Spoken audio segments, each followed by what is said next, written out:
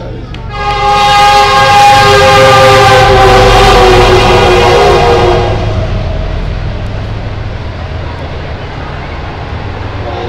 intro ਦੁਬਾਰਾ ਵੀ ਕਰ ਸਕਦੇ ਬੋਲ ਕੇ ਆਪਾਂ ਨੂੰ ਲੱਖਾਂ ਦਾ ਪਤਾ ਲੱਗ ਜਾਏਗਾ ਉਹ ਆਪਾਂ ਉੱਥੇ